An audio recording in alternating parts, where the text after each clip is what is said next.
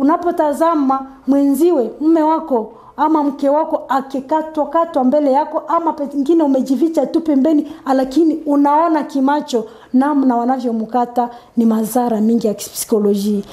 Umeona jirani yako amemkata ama pengine ulikimbia na baada ya hapo unakuja ona maiti yake namna inavyofanana ni kusema wametutumika vile kihakili kabisa ili tuweze kuteseka. Ni mambo yanayoonekana beni. Sasa ulikuwa umesema madhara yengine. Ni hiyo ya watu kukimbia kutoka mahali walipo wenzetu. ambao wamepoteza waume ya kutazama watoto wenzao watoto wetu ambao tunaweza kutaja watoto wetu wakiteseka baada ya kufariki kwa wato, wazazi wao ama wale ambao wamekimbia kuhofia maisha yao. Tuna huzuni kabisa na ndio maana vikundi vingi vya akina mama tumeweza basi kutafuta namna ya kuimiza raia. Sisi hatuna kitu ndugu journalist sababu sisi hatuna sio kikundi ambayo shirika ambayo inapata fedha inasaidiwa kifedha lakini ni shirika ambayo imesimama ina, wanamemba ambao wamesimama hapa jijini ili waangalie vile watazamie tatizo ya wenzetu wanayoishi beni. Na ndio maana waliweza kukusanya vitu vingi kabisa kwa sababu mama wamoja wamoja tuliowakuta tuliwakuta hawana vazi wengi wanakimbia kabisa. Watoto hawana vazi kwa sababu wanahofia maisha yao wanaacha vitu wanakimbia usiku. Na hivyo tumeweza kupata nguo vazi nyingi kabisa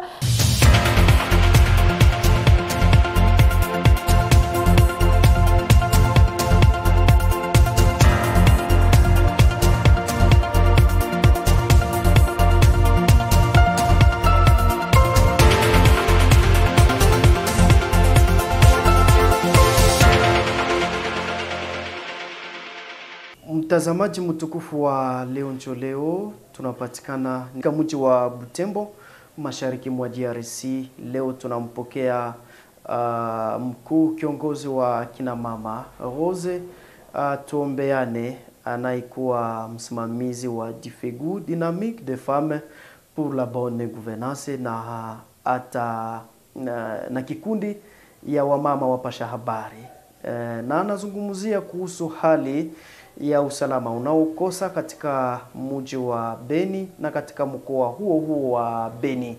Kuna watu wengi ambao wamehama, wamekimbia huku na huko kufia maisha yao, kama wahanga wa vita wanapatikana katika mji wa Butembo, wengine katika mji wa Beni na wengine hata uh, pembezoni mwa mwa mji uh, wa Beni. Hawana mahali kwa kulala, hawana chakula hawana kila kitu. Uh, kuna kikundi cha wakina mama ambacho kilihimiza raia katika mji wa Butembo ili kuwasaidia kuwasapoti wahanga wa vita. Basi acha tumpokee mama Hoze tuombeane. Jambo ndugu, asante kwa kunialika. Ni leo hii tunazungumza naye mama Rose tuombeane. Unaweza tuambia kifupi kwanza Uh, kuhusu wewe mwenyewe Rose Tuombeane, wewe ni nani? Asante sana ndugu mpasha habari. E, mimi ni Rose Kahambu Tuombeane, ninakuwa moja ya watetezi wa haki za binadamu kwa jumla, hasa zaidi nikiwa miongoni mwa wale wanaotetea amani kwetu tunayowaita militant, kusema niko mmoja wale ambao wameshimama imara ajili ya kupiganisha na kupaza sauti ili amani irudi kwetu na ili haki za binadamu hususan haki za mama ziweze kuheshimika katika nchi yetu DRC. Alafu kwa hiyo nafanya kazi hii kupitia kikundi moja ya akina mama uh, shirika ambayo tunaita shirika ya akina mama kwa uongozi bora, kusema Dynamique des Femmes pour la bonne gouvernance. Hiyo imekuwa uh, kikundi ambacho kinakuwa hapa jijini Butembo na kinakuwa na wamama au hata wamoja wamoja wakiwa Beni na wengine Lubero, lakini hapo ndiko kuna ofisi kuu hapa jijini Butembo, na na kwa vile mwanamemba uh, wa kikundi chingine kama Collectif de Femmes Journalistes, sababu mimi nilikuwa mbeleni mpasha habari. Na tunafanya tu kazi huko na huko kwa utafiti, na sasa baada ya hii nakuwa moja ya watu ambao o, ni wataalamu wa kiwasiliano kusema expert communication uh, communication hasa zaidi inajihusisha na namna ya kuongea katika vikundi, kusema communication des organisations. Uh, ndio mimi nawaza kifupi yangu ni hivyo. Asante Rose.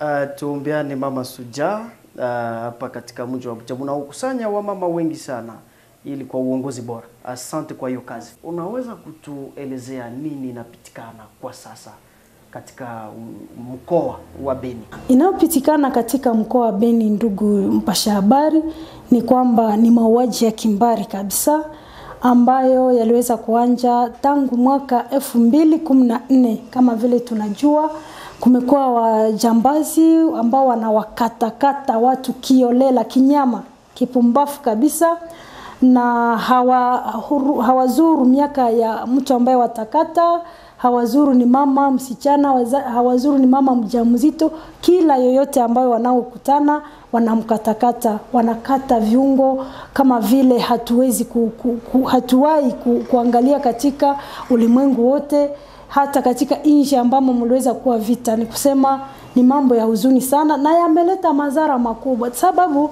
tangu mwaka huo elfu mbili kumi na nne hadi leo tukiwemo mwaka elfu mbili ishirini na moja tumeona kwamba ni karibuni itaweza kuwa miaka misaba watu wakikatwa Beni, na sio kukatwa kabisa, kusema kukata mtu mmoja, wakikatwa kwa wingi, na tumewapoteza watu kwa, kwa hizi siku tunaiwaidadisha kuwa karibu ya, mia, ya elfu, mia, elfu tano ni kusema 5000 ina, inaonekana wale ambao tulikuwa tumeidadisha uh, mbele ya siku ya wiki mbili ilikuwa uh, elfu mia nne E, makumi sita na saba na sasa kumeweza kuonekana tena visa vingine ama ambavyo uh, hatujaidadisha bado. Ni kusema ni mambo ya huzuni ndio inaonekana huko, kwa sababu ni mambo ambayo inatendeka zidi ya rahia. Tulitambua vita mbeleni kwamba ni vita ambayo mwanamgambo anaweza kuja tafuta kembi ya, ya, ya jeshi, lakini huko kwetu sivyo.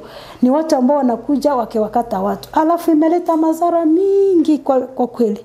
Kwanza, madhara ya kwanza ni kwamba watu wengi wamekufa, watu wamefariki, kama vile nilikuwa nimeonyesha hapa, na watu wanapokufa wanaacha madhara yengine, kwanza kijamii ni kusema kama ni baba ndiye alikufa, anawacha mayatima wengi, anawacha mjane hapo, na kama ni mama ndiye alikufa, anacha mayatima na anacha mjane mume, na kama sasa ni mama na baba ndiye amefariki, anacha mayatima wengi ambao kabisa hawawezi ku, kubembelezwa rahisi, sababu wamekosa wazazi wote. Hiyo ni kwa ng'ambo ya kijamaa, na mayatima sio mayatima wa, ambao wana waliona wazazi wakifariki kwa njia nzuri, lakini wengi wao ni wale mayatima ambao waliwaona wazazi wao wakikatwa, ni kusema ambao kabisa wamekuwa washuhuda kimacho ya mauaji ya wazazi wao, ama ni wale ambao ni wake ambao wameona wameshuhudia kimacho mauaji ya kimbari ya waume wao.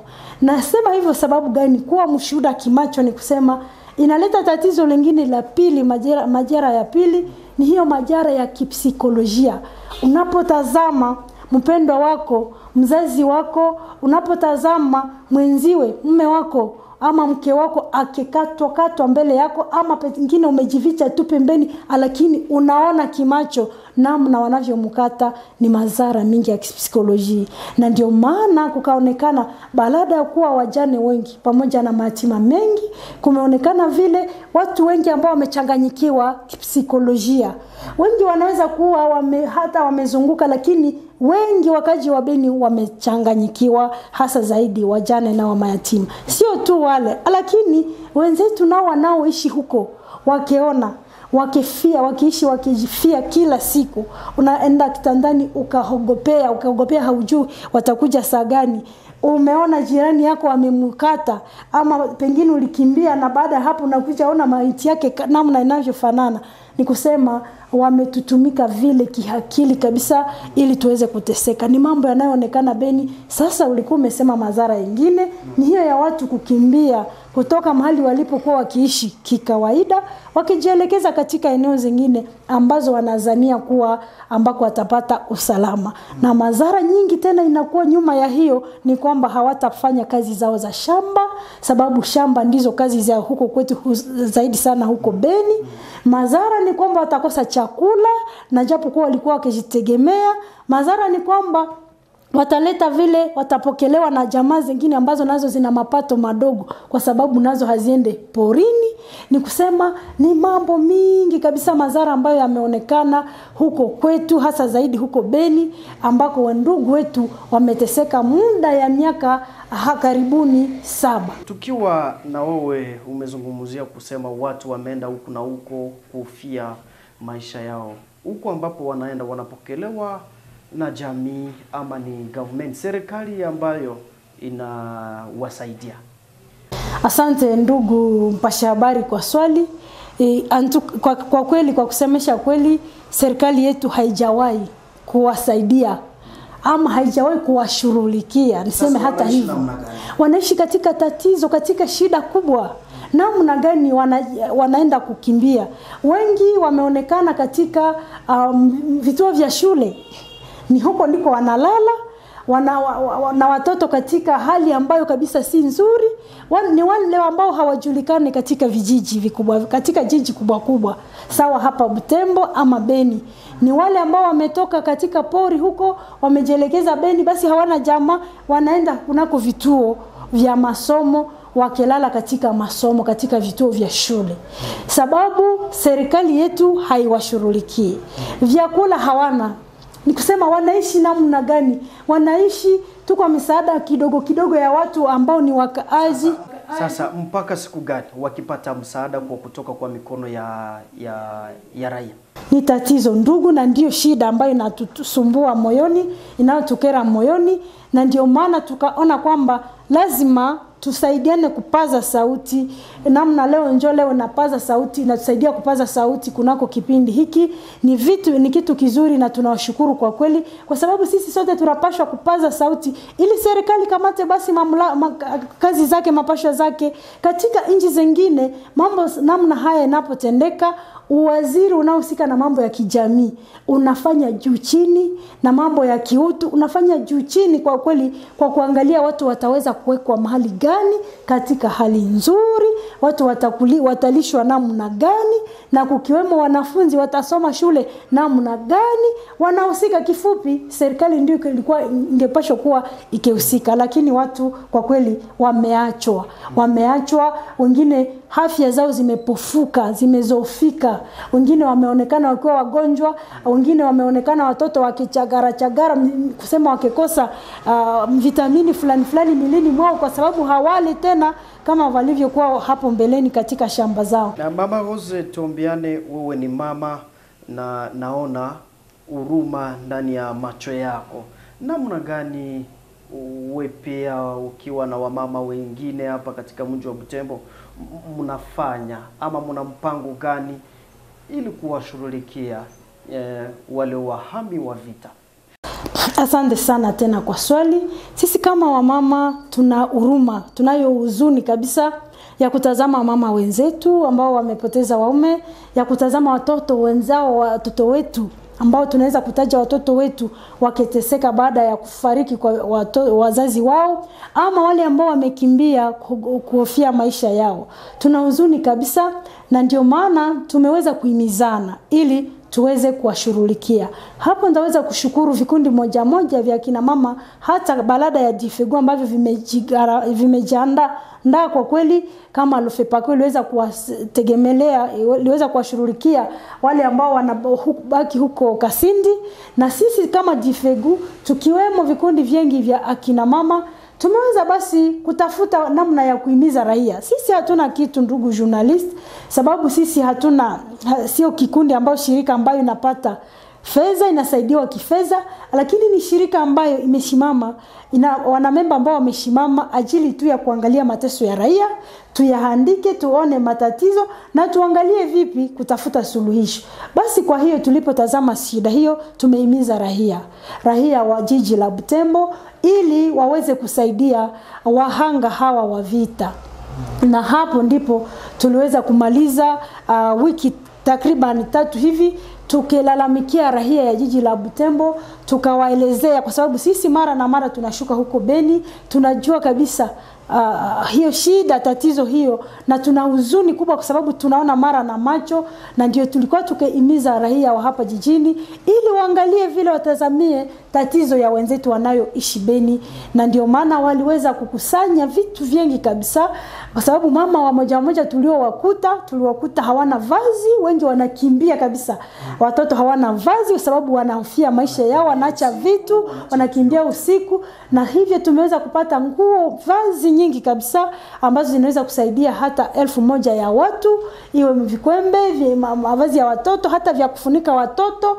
na kufunika watu wakubwa, vi- nani vikombe, vazi za, za, za wababa na hasa vitu vyenye ambavyo vitawasaidia mkiwemo toki za kuangazia. Ni kusema tuliweza kuhimiza rahia na ndio rahia ndio ilipata hiyo. Hatuwezi kusema kwa kweli ni Jifegu ndio ilipata vitu hivyo, lakini ni watu wa mji wa Butembo waliosikia sauti huzuni, sauti hiyo ya huzuni ambayo wamama wenzetu walikuwa wakipeleka huko barabarani, wakigusa mioyo za rahia wa jiji la Butembo, basi nao waligusika, nao wakaweza kusema basi acha tupane, na walileta vile pesa ambayo tuliwaza itasaidia zaidi sana. Sisi kama wamama wazazi tuliona vile wanafunzi ambao walikuwa wakituonesha ambao wanaangaika wazazi tayari wamekufa, wamefariki. Sasa mtoto anapoenda shuleni, walimu nao wanamrudisha eh, vijijini sababu hakulipa masomo, alafu huyo anakumbuka tena mateso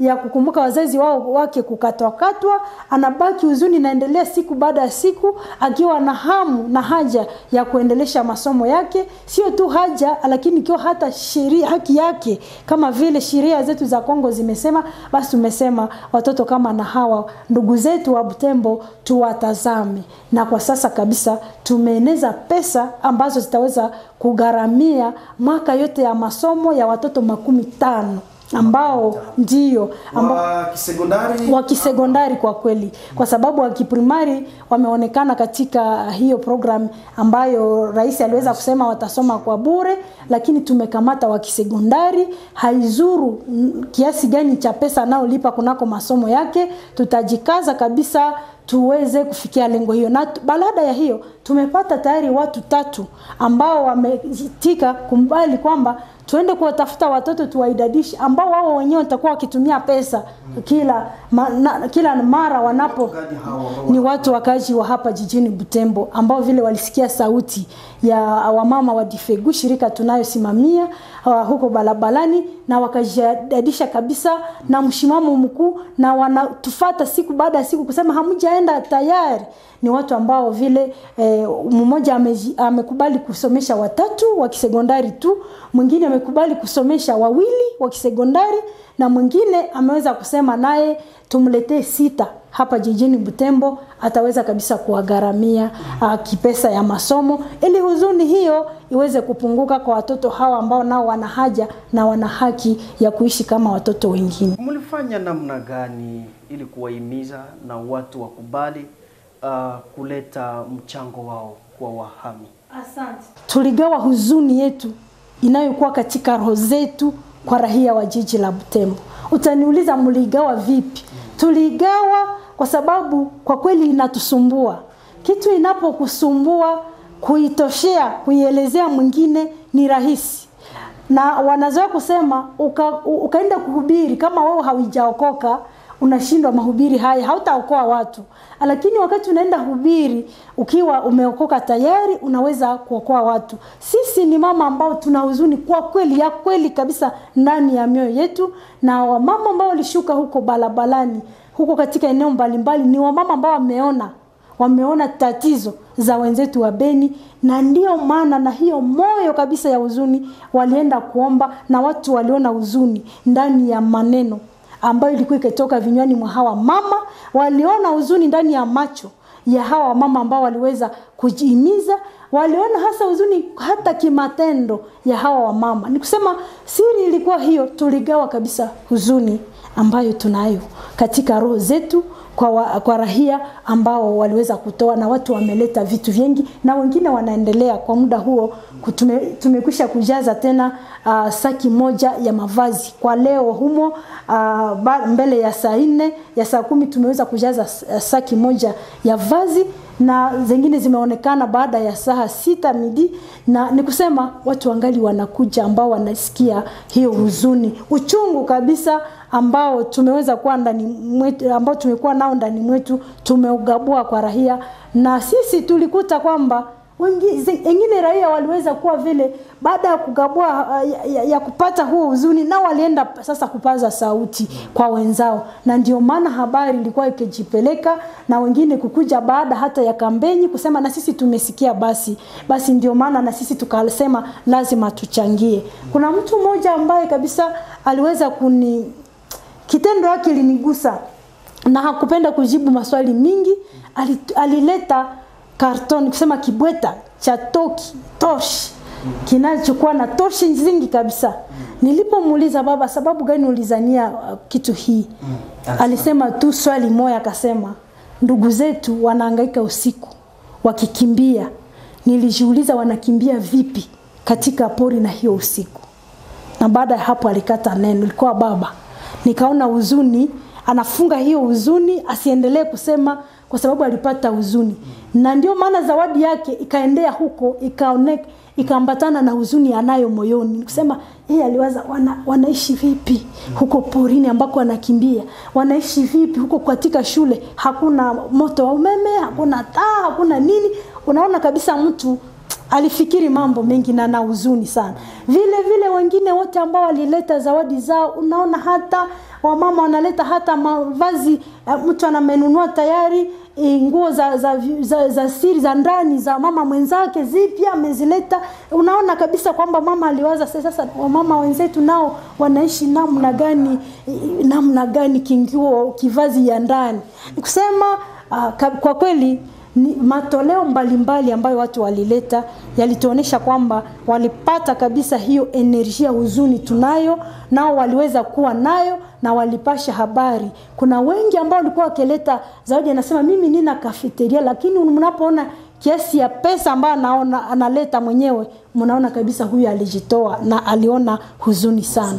Ni kusema hiyo ndiyo tuliweza kufanya na tuligabula tu huzuni tunayo na tutaendelea kuifanya hata kinywa kwa kinywa, ili iwelio wengi watoto ambao ni mayatima wanaoishi hapa Butembo na wanaoishi Beni wagaramiwe Sisi tulitazamia zaidi sana wanaoishi Beni, ndugu mpasha habari, sababu kama vile tu, hata na wao uliweza kutuuliza, kuna wengi ambao wameishi katika vyumba vya masomo sababu hawana wajamaa, lakini ndio, lakini wenzetu ambao wamewasili tayari hapa Uh, ndugu zetu wa, tutaendelea kuwagharamia, lakini wao tayari wamepokelewa uh, wamoja katika jamaa, wengine wamepokelewa katika, katika viwanja uh, na wengine tayari wamepata hata namna ya kusafiri, lakini kuna ndugu zetu wengine huko ambao wanakosa hata namna ya kusafiri, sababu atakapopanda penda pande pikipiki, mwenye na pikipiki atasema basi leta mapato kidogo. Atakapopenda pande gari hata ya bei chini, hiyo tunaoita mafuso, naye atasema tu leta kitu kidogo. Ni kusema kuna wengi wengi kabisa wako huko ambao wanateseka na ambao wanaolala na huzuni ba, siku baada ya siku, pengine kwanza amepoteza wenzao ambao wamemwacha na baada ya hiyo anaishi katika hoga akingoja tu kifo mm. akingoja hiyo adui ikuje kumuua, alafu ni watu ambao ni wahuzuni sana Sasa, sana kabisa. huku ambapo wanafanya makesha kwenye kwenye shule wanalindwa na jeshi ya taifa ama vipi?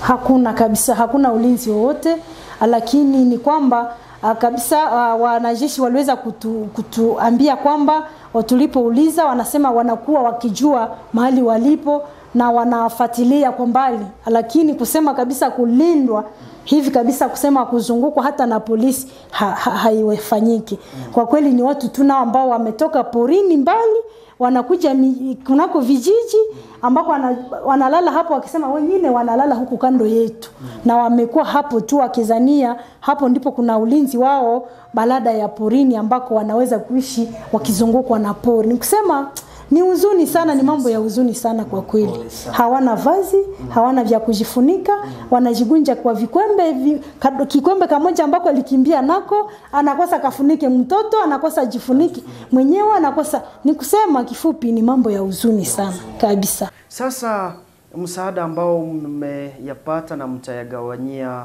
wale wahami wa vita, mtaenda kwenye shule ama mtawapata na wale ambao wanakuwa kwenye majamii zao? Ndiyo, tutaenda kwa nafasi zote, tutaenda kwanja kwenye shule na tutaenda hadi wale ambao wanapatikana kwenye jamii zao, lakini huko kando kando tu, ambao wameenda wamepokelewa, kwa sababu kuna wale ambao wamepokelewa hata na wasiokuwa jamii zao. Ni kusema nakamata mtu aliyetoka Eringeti anajificha Oicha, anafika hapo anaangaika lakini pengine wanaweza kutangaza kanisani watu wapokeane. Kuna mtu wa moyo mwema ambaye anampokea.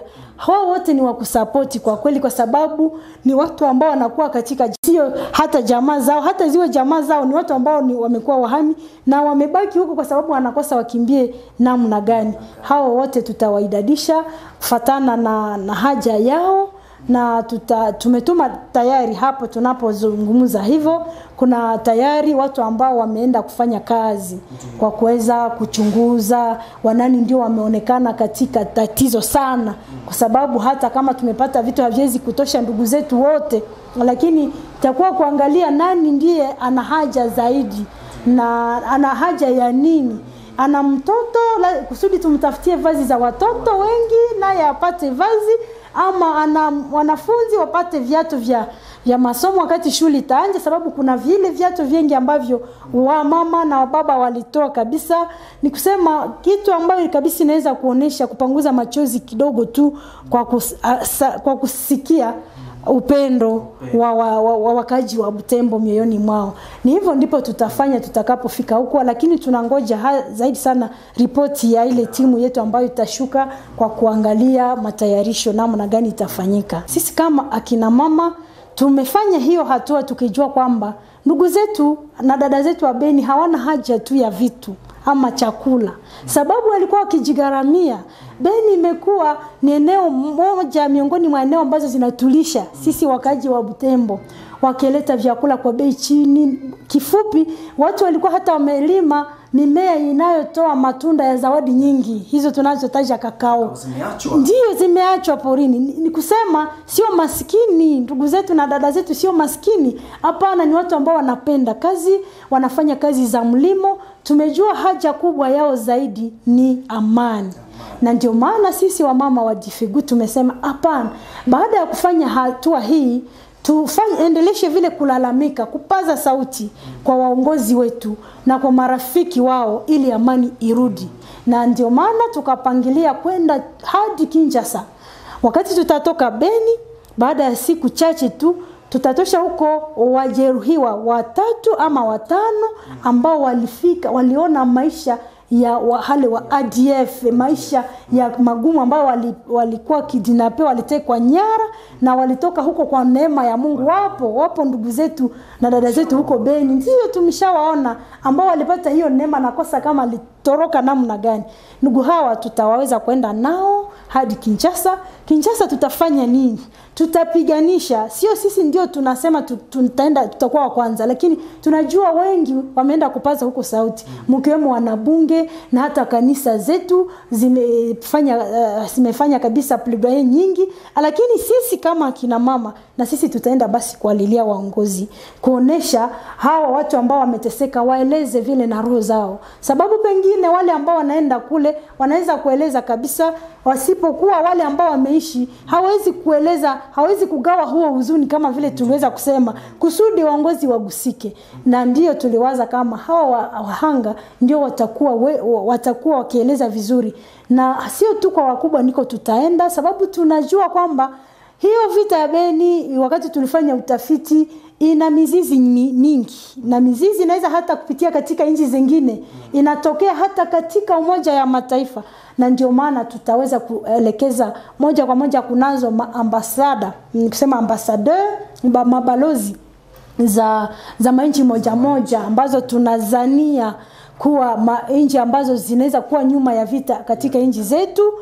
Kazi hapo lengo itakuwa kuambia ukweli sababu katika uh, katika tabia zetu katika mila zetu za Kiafrika hasa zaidi za huko kwetu kin, uh, Wanande wanazoea kusema mlozi anapowasumbua kunako kata akibina ama aka, akaloga watu akaoa watu wengi mm. tulikuwa tukitafuta mtu mmoja ambaye anapitapita na microphone akisema mlozi amekuwa tayari hapa na tumemjua tayari ndio tuliweza kuwa naita Andrigme luema katika lugha yetu ya Kinande, na ndio tutaweza kufanya kinjasa kunako mabalozi. Tukasema tulipofanya utafiti, nchi yako unayosimamia hapa inaonekana imekuwa imekuwa nyuma ya tatizo tunayoishi, na tunazania kabisa, ikiwa wewe haujui tazama halama, kwa sababu tutakuwa tutaenda huko na, na ndio tumeshapata kabisa watu ambao wametuzungumzia, na tutaenda huko kabisa na hiyo maandiko, hata picha ambazo hata kama tutakuwa tukiwavicha watu wetu ambao wanatuzungumzia,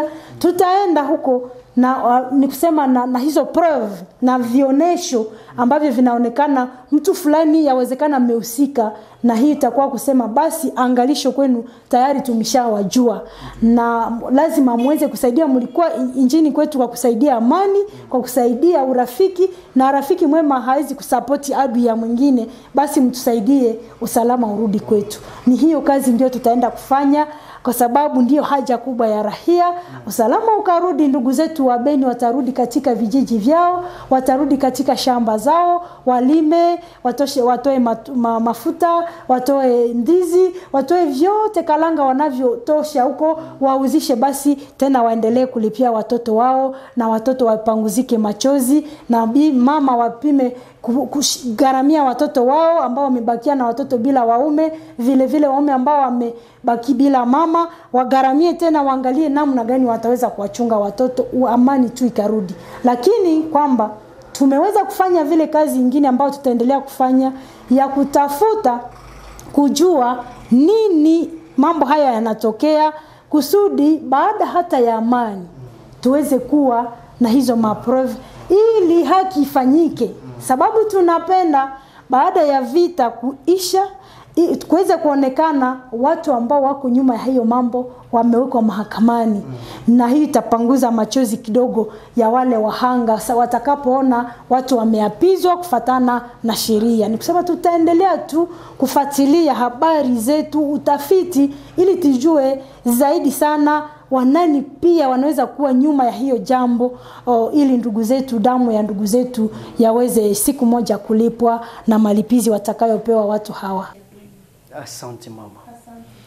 Mtazamaji wetu wa leo njo leo, ni hapo ndipo tunafikia mwisho wa kipindi chetu uh, tukiwa mashariki mwa DRC ni katika mji uh, wa Butembo. Tunawashukuru.